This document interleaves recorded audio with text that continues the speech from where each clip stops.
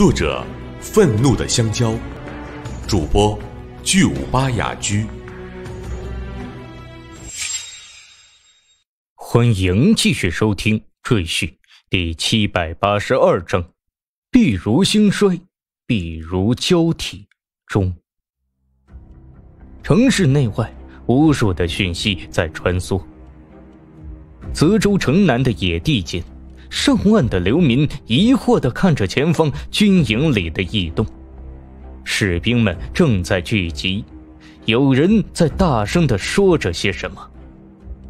临川、高平、阳城、沁水、壶关已判，安将军、陈将军出兵，我等支持女相。这么些年来。是那位女菩萨管的太平地方，才令我等暴富。天虎不过一介猎户，自毁城墙，此乃朝堂十三位将军联名书信。此时威胜已经陷落，虎已被擒了。不久之后，军营里爆发出了相互的厮杀，远处的城头那边。有烟柱隐约升起在天空，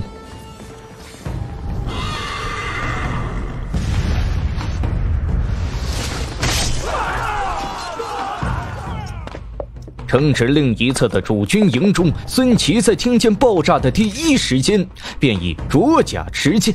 他跨出大帐，看见副将邹信快步奔来。怎么回事？黑旗来了，有人叛乱。哼 本将早已料到，牵马过来。快跟上！混乱在军营中已经开始扩展，随后又有人陆续冲来报告。士兵牵着战马正快步奔来，孙琦在快步中猛然拔剑互挥，兵器“砰”的一声，与接近过来的副将手中的匕首相击。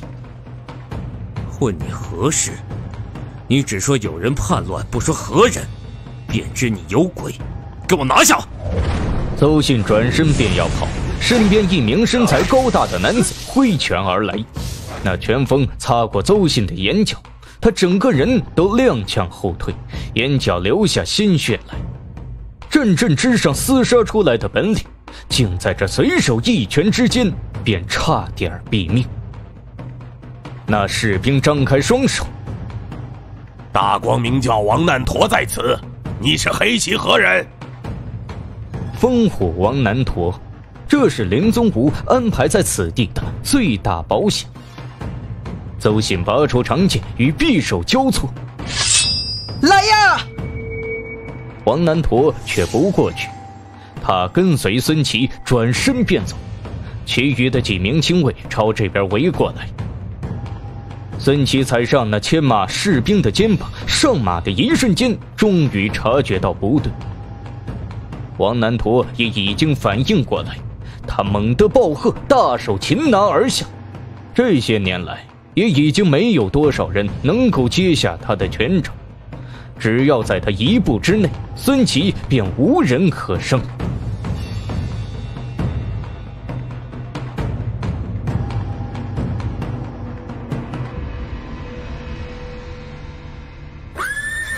造反了！凄烈的声音响起在秦州城中。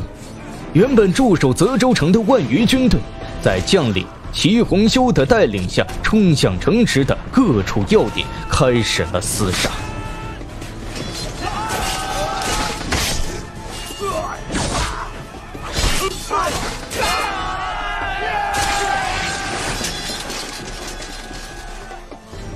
州府附近。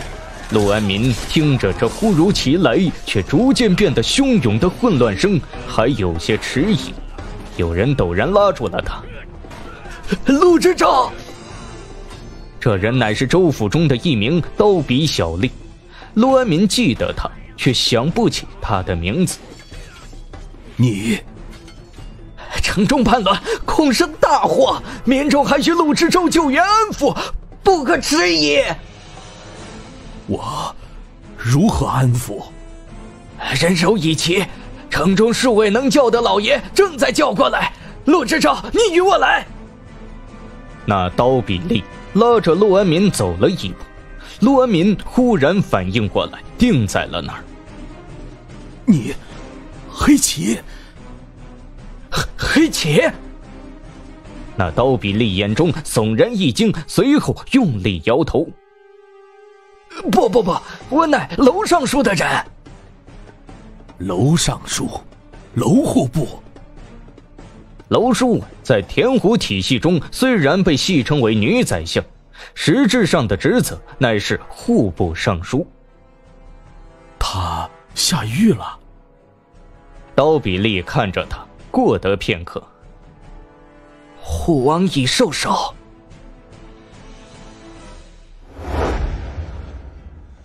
大牢之中，人声与脚步声涌向最核心处的牢房。狱卒打开了牢房，放下其中那遍体鳞伤的男子。随后，大夫也过来，带着各种伤药、绷带。男子看着他们：“你来不及解释了，虎王垮台。”泽州军队大叛乱，难民口将冲向泽州城，华夏军秦路奉命营救王将军，控制泽州难民局势。你是华夏军？狱卒点头，他听着外面隐约的声音，希望能够尽量控制局面，不使泽州毁于一旦。城内的一个小院子里。李诗诗走了出来，听着外头那巨大的混乱，望向院落一旁正在修车轮的老人。黄伯，外面怎么了？造反了吧？那老黄只是微微抬头，答得清楚。哦。李诗诗看着他的态度，心中明白了一些东西。过得片刻。卢大哥和燕青兄弟呢？也出去了。嗯。老黄将一把锥子拿在手里，用力敲轮子上的凸起，随后吹了一下。他们去了军营。过得片刻，补充道：“好像是杀一个将军。”虽然有许多事情瞒着这位兰心蕙质的善良女子，但总有些讯息是可以透露的。老人也就难得的透露了一下。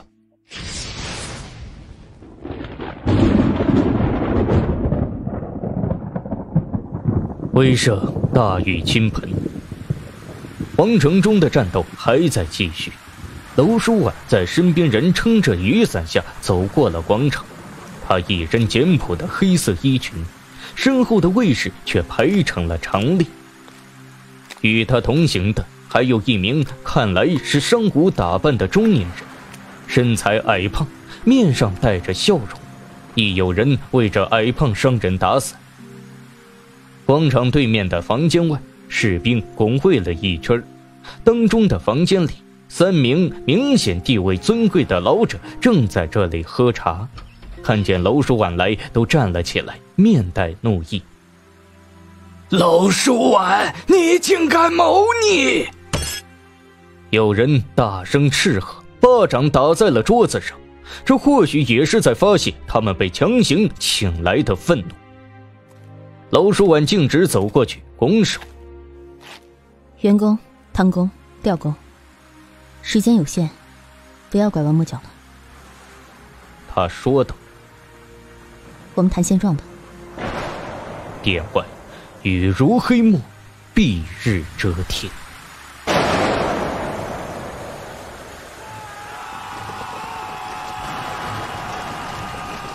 倾盆的大雨笼罩了威胜附近起伏的山峦，天极宫中的厮杀陷入了白热化的境地，士兵的冲杀沸腾了这片大雨，将领们率队冲锋。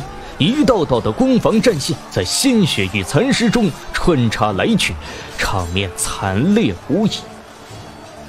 突降的大雨降低了原本要在城内爆炸的火药的威力，在客观上延长了原本预定的攻防时间。而由于虎王亲自带队，长久以来的威严撑起了起伏的战线，而由于这里的战事未歇，城内便是愈演愈烈的一片大乱。天极宫的一侧，已经被叛逆军队占领的区域内，进行的谈判或许才是真正决定虎王地盘日后状况的关键。虽然这谈判在实质上恐怕已经无法决定虎王的状况。城市中的大乱，迟早终将导向一个固定的方向。而在城外，大将军于玉林率领的军队也已经在压来的路途上。虽然行诸表面的似乎只是靖王地盘上的一次政坛变动和反扑，内中的情形却远比这里来的复杂。杨顺、方祥、苏吉。沈安、盛本、石训、桑英、窦兆、黄达、黄小炳、杜威、钱林中、侯兆兰。大雨的落下，伴随的是房间里的一个个名字的列举，以及对面三位老人无动于衷的神情。一身黑色衣裙的楼书婉也只是平静的陈述，流畅而又简单。他的手上甚至没有拿纸，显然这些东西早已在心里转过了无数遍。因这些人的支持，今日的发动也不止微胜一处。这个时候，晋王的地盘上已经燃起大火。晋王，你可知道，当初是晋王收留的你？员工，说这种话没有意思。我被关进牢房的时候。你在哪里？所以你勾结华夏军。娄书婉的目光晃过对面的袁战霞，不再理会。这次的事情之后，华夏军授予我等铁制重炮两百门，给出华夏军深入我方间谍名单，且在交接完成之后，分批次退回西南。这段话说出。对面三人一时间却都愣住了，汤姓老者等了片刻。两百门重炮，退回华夏军人员。另一人却也忍不住道：“华夏军人员都是他们说了算，如何能信啊？”袁振霞却是摇了摇头，恍然间有些无力的嗤笑。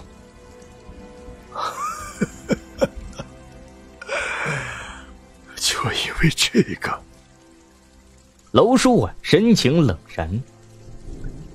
不信又如何？此次各地发动，多由华夏军成员牵头，他们主动撤走一大批，三位莫非还不满意？若非虎王昏了头，三位，你们给我拿到两百铁炮，再清走他们一批人。再者。王巨云与我约定，今日与北面同时发动大军压境。然而王巨云此人狡诈多谋，不可轻信。我相信他昨夜便已发动大军扣关，趁我方内乱攻城占地。三位在盖州等地有产业的，恐怕已经岌岌可危了。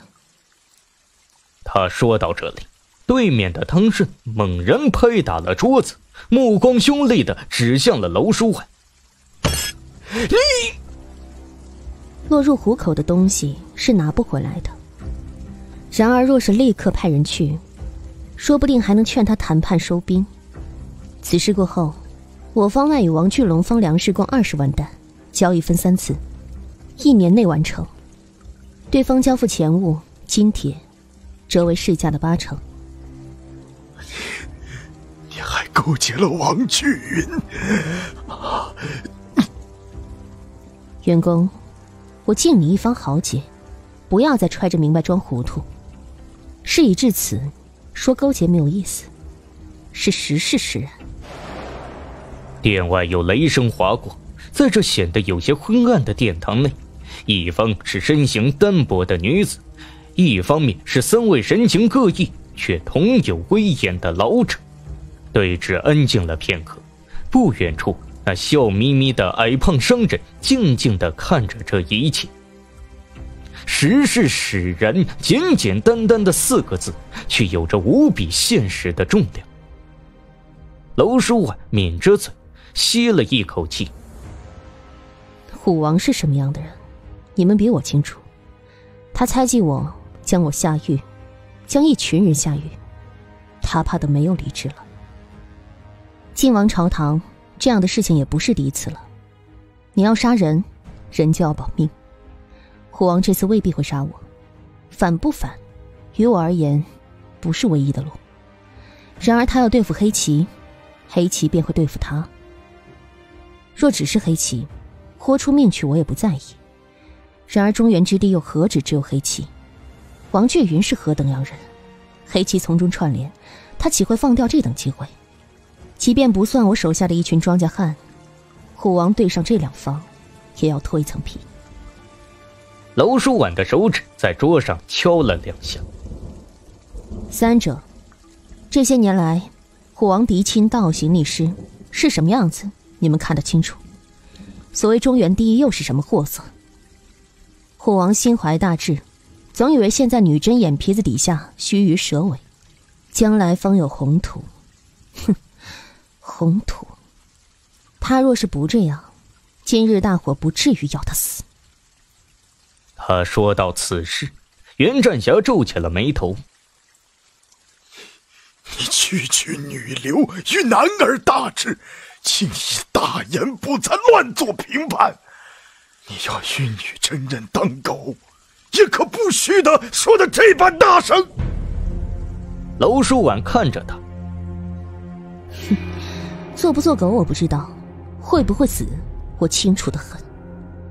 黑旗三年抗金，只是因为他们胸怀大志，他们的中间可没有一群亲族强抢民女，奸淫烧杀，胸怀大志却不自省，死路一条。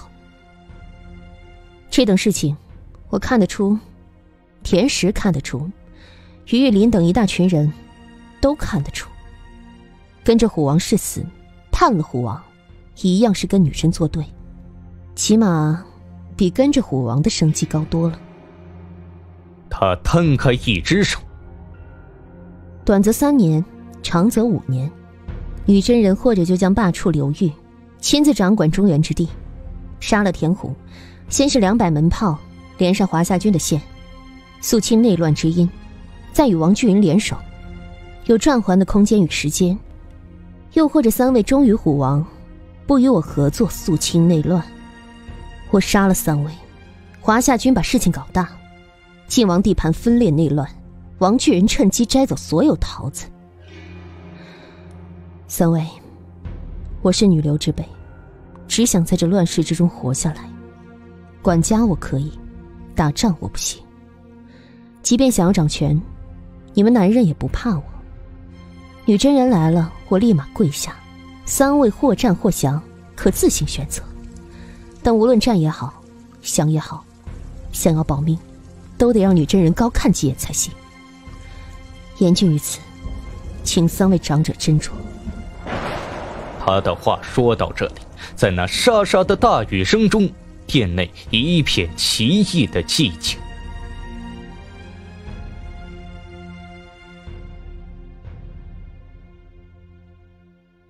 欲知后事如何，欢迎继续收听《赘婿》第七百八十三集。望江山，世间纷乱如火，长久长生在风起云涌，夜无穷，不怕。听众朋友们。作者：愤怒的香蕉，演播人：巨五八雅居。美名天下说。